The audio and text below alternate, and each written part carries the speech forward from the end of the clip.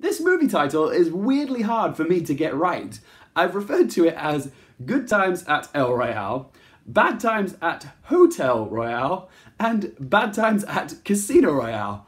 Why can't my brain process this film's title? Hey up guys! So today's film that I'm reviewing is the latest film that is written and directed by Drew Goddard, the man that gave us one of my favourite films of all time, The Cabin in the Woods. Six years later, he has finally done another film. About bloody time. This one's called Bad Times at El Royale and stars Jeff Bridges, Jon Hamm, Dakota Johnson, Lewis Pullman, Cailee Spaeney, Cynthia Erivo, and Chris Hemsworth as a group of strangers that show up to this hotel in 1969 on one stormy night. Blood is spilt, secrets are exposed, and the night becomes a game of survival. Bad times indeed. This film had the potential to be a pulpy, paranoid puzzler, but sadly feels more like a sluggish, mediocre attempt at pulling off Tarantino. There's definitely a Hateful Eight vibe here, as it's got shady characters, all in one location with a high body count. I wasn't a massive fan of The Hateful Eight, but I would say that Bad Times at the at the Hotel Royale, at the Hotel Royale, the El Royale, God, this movie's title. Wait a minute. Is it is it Bad Times at the El Royale or Bad Times at El Royale? Wait, wait, wait, wait. no! Shit! Oh my god, no! Oh no, no, no, no, no, no! Oh, there's a there's a the in it. Shit! And I just did the introduction, but I forgot to mention the the. Oh fuck! Oh, shit!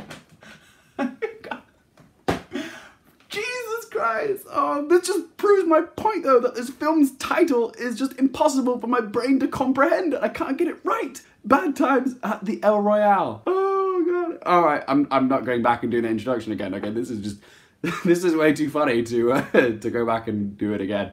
So yeah, continuing the review of Bad Times at the El Royale. Go like gather my dignity, whatever little bit remains. I wasn't a massive fan of The Hateful Eight, and I would say that Bad Times at the El Royale falls into the same category that it's entertaining enough, but it doesn't have any satisfying, suspenseful payoff. Tarantino and Goddard both have far superior work. Let's start with the positives, okay? The first thing that I really loved about this film was the production design of it. Apart from a few flashbacks, this film primarily takes place at one location, which is the Hotel Royale. And yeah, when you have a film that takes place at just one location, it's pivotal that the location provides atmosphere for the film. And that's one thing that this film gets spot on. This setting definitely gives the film a vibe, a feeling, and it's very 60s and it looks meticulously accurate. I think the design of the hotel looks great. The hotel sits on top of the state lines of California and Nevada. I honestly thought that this plot detail that the hotel was sitting on top of two states was going to come into play a bit more as the film progressed and it would have some significance, but it really doesn't do anything to inform the story or the characters or affect the narrative in any way, really. Yeah, I kind of thought it was a little bit pointless. But Martin Whist has done a very good job of the set design. He really has an eye for detail. The casting is also superb, but some definitely have more to work with than others. The standout in this film is definitely Cynthia Erivo, who plays the soulful lounge singer Darlene. She is the film's best asset, and she's definitely one to watch out for because she was also in Steve McQueen's Widows, and yeah, she also gets to sing in this. She even gets the best scene in this film when Jon Hamm's vacuum cleaner salesman starts spying on her. But yeah, she sings in this scene, and when you do hear her vocals in this scene, it's chilling for two reasons.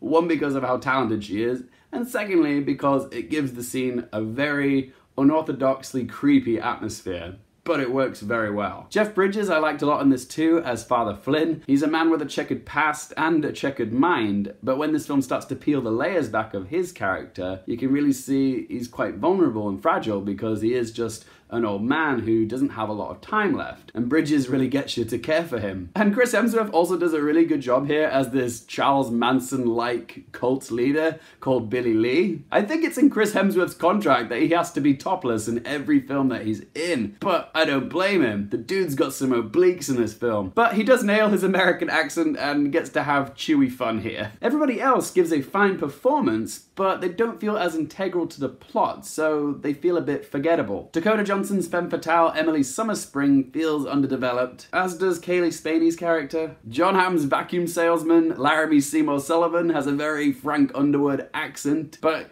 he does enough to grab your attention at first, and again, he does get the best scene along with Cynthia Erivo when he's spying on her. So yeah, the characters in general are rather hit or miss. One of my main issues that I have with this film is its pacing. This film is 2 hours and 20 minutes long. I don't mind if it's a slow burn film, but it needs to have a satisfactory bit of payoff towards the end which I honestly don't think this film has. And the one thing that Drew Goddard is missing with his script is the zingy wit of Joss Whedon, which made Cabin in the Woods so much fun to watch. And if your scenes aren't full of juicy, snappy dialogue, then it can feel a bit slow in places, and I definitely felt that this film was a bit sluggish. And honestly, I didn't think this film's finale had that much oomph. It just felt a bit flat to me. It wasn't bad, it's just nothing that comes close to the clever subversiveness of The Cabin in the Woods. That film surprised everybody. But the most surprising thing about Bad Times at the El Royale was probably when Xavier Dolan showed up as this slimy music mogul in Darlene's flashback. And yeah, when I saw his face in it, I was like, oh, well, that's a nice surprise. Okay, so let's ask those three questions. Would I watch this again?